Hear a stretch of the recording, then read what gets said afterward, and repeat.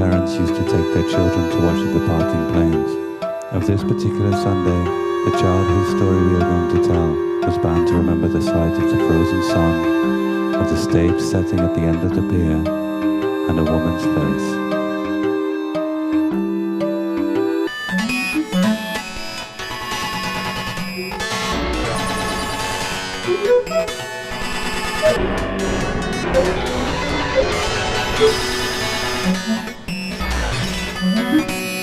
On the thirtieth day, they meet.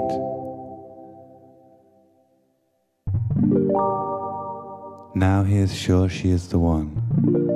As a matter of fact, it's the only thing he may be sure of in the middle of this dateless world which first stuns him by its splendor.